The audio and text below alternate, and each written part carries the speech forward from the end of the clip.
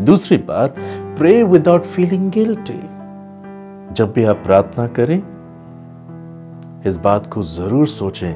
आपके मन, आपके हृदय में किसी के प्रति कोई दोष भावना तो नहीं है? या कोई दोष भावना आपको आपकी प्रार्थना में रुकावट तो नहीं डाल रही है?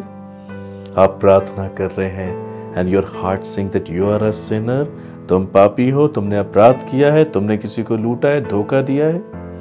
बहुत सारे लोग इस संसार में लोगों के हृदय को तोड़ते हैं।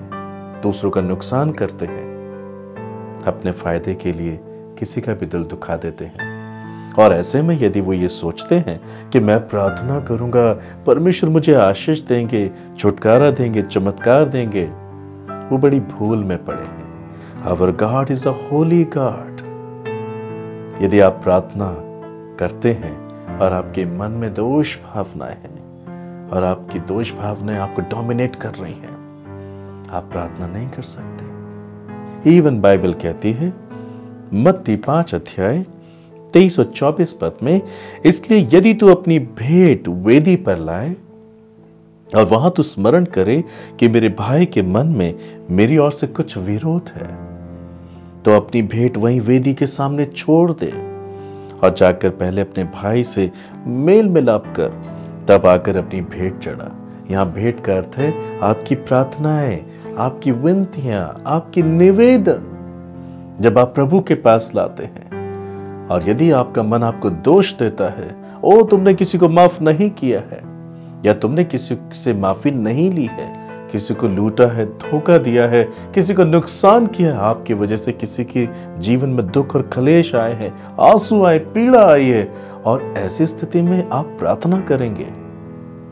परमेश्वर का वचन कहता है कि उसने मनुष्य के भीतर जो आत्मा दिया है, वो यहुआ का दीपक है, जो मन की सब बातों की खोज करता है। परमेश्वर से वो कुछ भी नहीं छिपाता।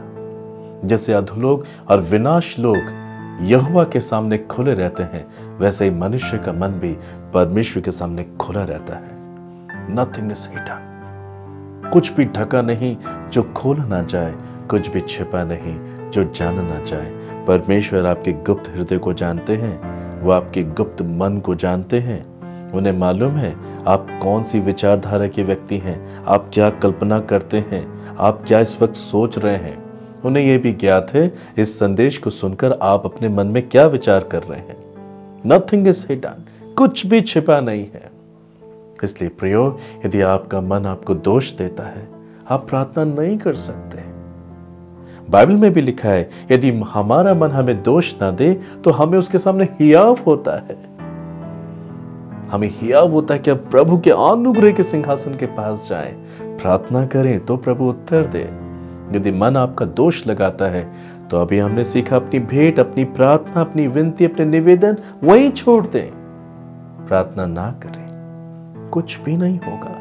You will waste your time you will talking to yourself जाकर पहले सब कामों को ठीक करें। Set your heart right before God अपना दिल परमेश्वर के सामने ठीक करें। Then you can pray and you can expect a responsive answer from God do prayer without feeling guilty brother sister मैं विश्वास करता हूँ कि आप इस संदेश को समझ पा रहे हैं। Your heart must be free your heart must be free because your heart is a source to communicate with God आपके दिल को स्वतंत्र होना, आज़ाद होना बहुत ज़रूरी है। क्योंकि आपका दिल ही, आपका हृदय ही एक ऐसा सूत्र है जिसके द्वारा परमेश्वर से बातें करते हैं और परमेश्वर आपसे बातें करता है। Your heart must be free आपके दिल को आज़ाद होना अति आवश्यक है। पर यदि आपका मन, आपका दिल आपको दोष देता है, आप प्रार्थना नहीं कर पाएँगे। आप परमेश्वर से बातें नहीं कर सकते। एक स्वतंत्र हृदय को यह अधिकार है कि वो परमेश्वर तक जा पहुँचे।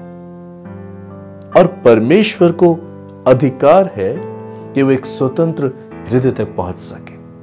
नाउ चेक योर हार्ट क्या आपका हृदय स्वतंत्र है? या आपका हृदय आप पर दोष लगाता है, आपका मन आप पर दोष लगाता है। You need to confess from all your sin आपको अपने सब पापों के लिए पश्चाताप करना है। आपको पापों को छोड़ देना है। नीति वचन 28 अध्याय तेरह पद में हम ऐसा पढ़ते हैं, जो अपने अपराध छिपा के रखता है, उसका कार्य सफल नहीं होता, परंतु जो उनको मान लेता है और छोड़ भी देता है, उस पर दया की जाएगी। यदि आप चाहते हैं कि आप प्रार्थना करें आप पर दया हो, परमेश्वर आपकी प्रार्थना पर response they. Do your prayer without feeling guilty बिना दोष भावनाओं के प्रार्थना करें। यह तभी संभव होगा when you have a free heart जब आपके पास एक स्वतंत्र हृदय है। So my brother my sister confuse from all your sin प्रभु की करुणा आपके जीवन पर है। आप पश्चाताप कर सकते हैं। वो आपको एक नई सृष्टि बना सकते हैं।